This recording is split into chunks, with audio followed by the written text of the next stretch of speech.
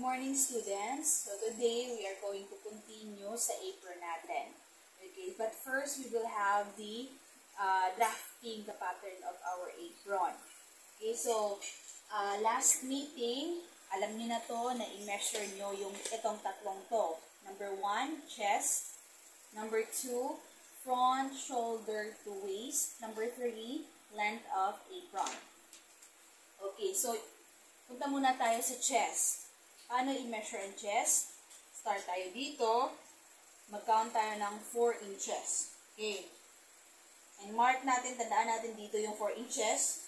So, sa akin, um, eto, 8 inches. So, yung chest ko is 8 inches. Now, number 2, let's proceed to number 2, which is front shoulder to waist. So, start here hanggang sa puso dito. Yan. And this is 17. And the third, the last one, is the length of your apron. So, depende sa inyo kung saan gusto nyo. Yung haba ng apron mo, pwedeng above the knee, below the knee.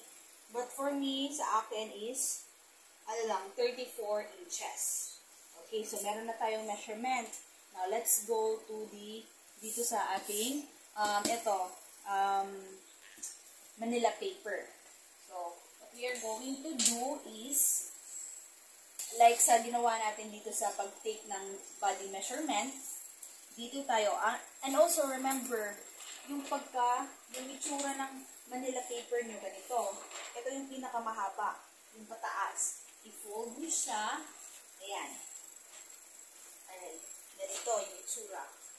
So, dito tayo mag-start sa top. Dito sa top, ay ito, itong walang cut. Ito, itong walang cut. And then, remember, ito yung walang cut ha. Dito, dito, ito, walang cut. Ito yung, ito, may cut. So, let's start. From top, mag-measure tayo ng um, 4 inches, gaya ng ginawa natin dito sa uh, chest. Okay, 4 inches. Tsaka, dito tayo, etong end na to, etong end na to, ilalagay natin sa pinakataas. Hindi, hindi magiging ganito. Hindi ganito ha. Hindi, kundi ganito. Patong talaga. Mismong, etong nakikita natin, dito talaga ilalagay natin sa taas ng Manila paper. Hindi lalagpas, kundi mismo dito. So, 4 inches. Ito yung 4 inches. Ayan. So, ima-mark natin siya ng B. Okay. Ito yung B natin na tandaan. Okay. So, next, we have from the top, dito, top, to yung measurement natin sa number 2, which is, sa akin, yung measurement natin sa front shoulder to waist is 17. 17 yung, yung number 2. Ito, number 2 na measurement. Ayan, 17 sa akin. Okay, so let's start from the start ha. Sa pinakataas dito. Dito, hindi dito sa B. Dito talaga, taas. Okay, sa akin is 17. So, 17. Ito. Ayan. So, ima-mark natin siya na uh, D. D. Ito yung D natin. Ayan. So, meron na tayong B, tsaka D. Now, let's proceed to number, uh, measurement ng number 3, which is length of apron. So, start tayo sa pinakataas, dito. Sa pinakataas, sa akin, yung measurement na sa akin ng number 3 is 34 inches. Okay, so 34 inches. Okay lang.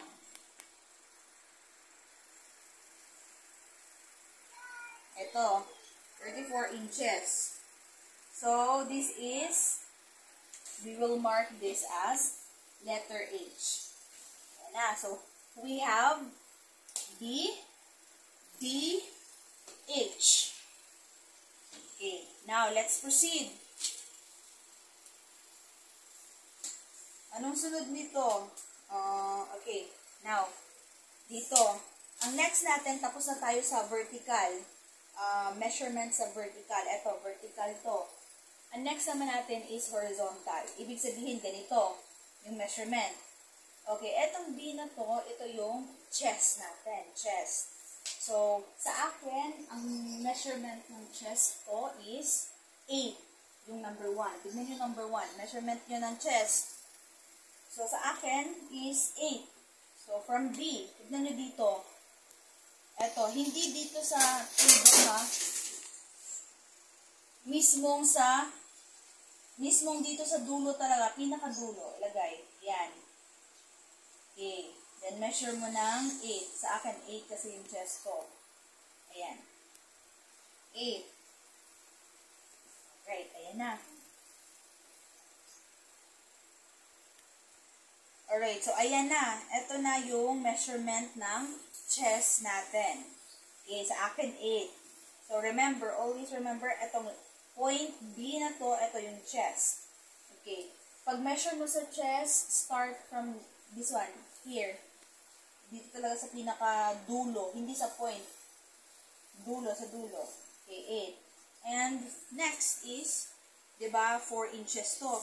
Itong sa taas hanggang dito sa B, 4 inches.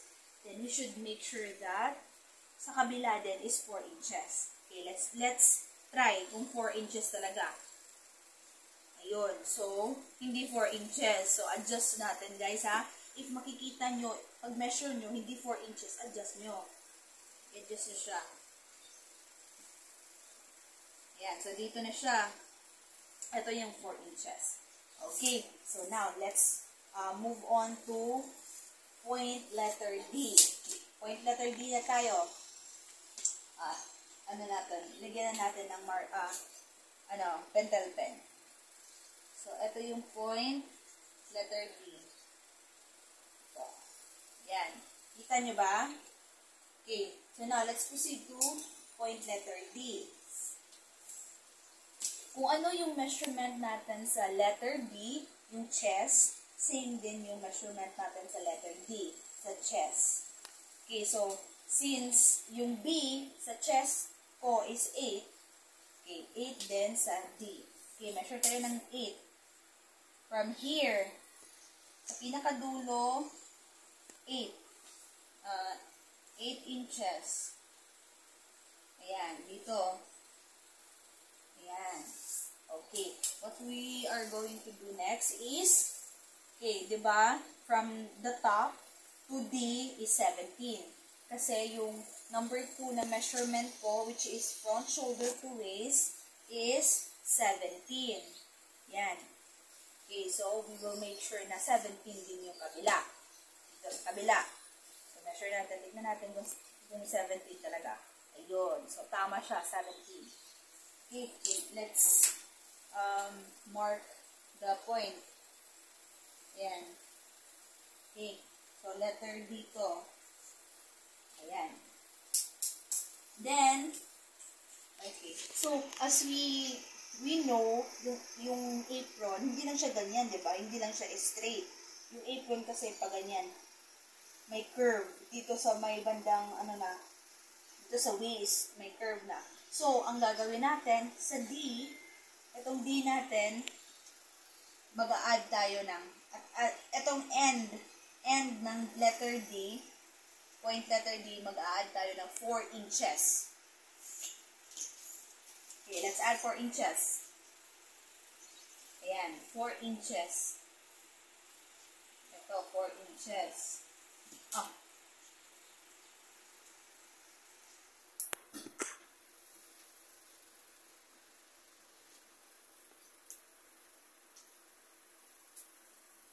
Ayan, 4 inches na siya.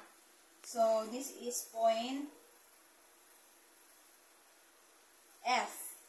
F to, F.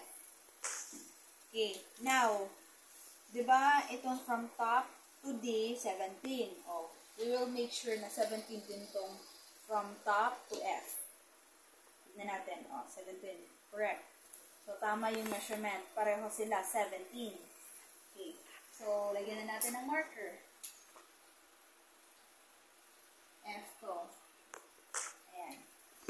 Okay, now, Yung gagawin natin is, di ba sabi ko kanina na ang point letter D is measurement ng chest, which is, yung measurement ng chest ko is 8, 8 inches. So, sabi ko kanina, ang point letter D at saka point letter D is pareho ng measurement. So, which is 8. So, now, nagdagdag tayo ng 4 inches. Okay, we will add. I-add natin siya 8 inches plus 4 inches. So, that is 12 inches, di ba? Okay, so 12 inches siya. Yun yung gagawin natin sa point letter H. 12 inches. Horizontal yung measurement. 12 inches. Start tayo dito sa pinakadulo. 12 inches. Yan. 12 inches. Mhm. Yan. 12 inches to. Now, let's measure. Tignan natin kung pareho sila ng measurement. Um, 34 tong from top to point letter H. 34. Now, let's see if 34 din yung kabila. Tignan natin. Ayun. So, tama tayo. 34 inches. Pareho sila ng measurement.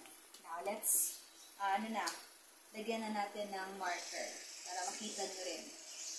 Yan. Okay. So, ito na yung resulta.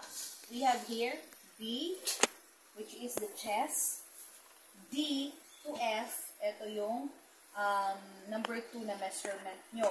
Yung front shoulder to waist. Saka H, ito yung length ng apron. Now, let's connect the dot. Connect na natin siya using the ruler.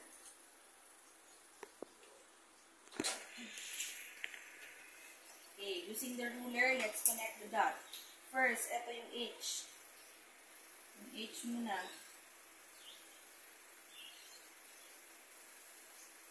Yan. Connect nyo. Tapos, ito din. Yung B. Yung sa chest nyo, connect. Yan. Then, uh, sa um, dulo ng H saka yung F. Connect natin.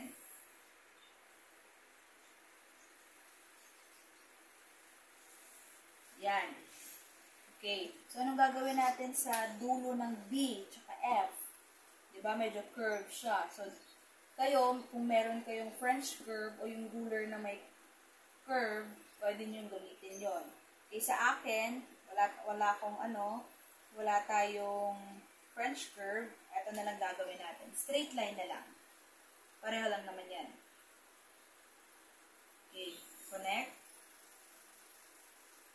Ayan.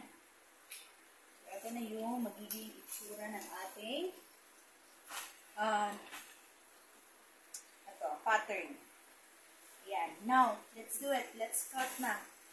Cut na natin siya. Yung cutting natin dito lang. Every corner lang. Hindi nyo to ikukat ha. Hindi. Hindi nyo to ikakat. Dito lang.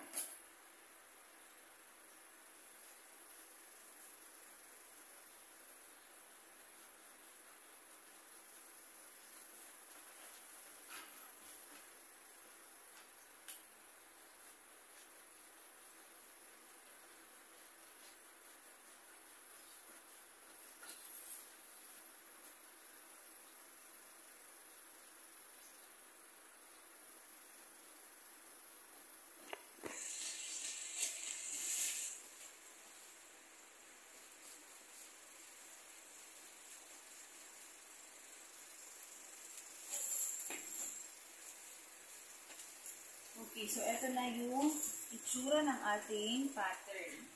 So, pag, yan.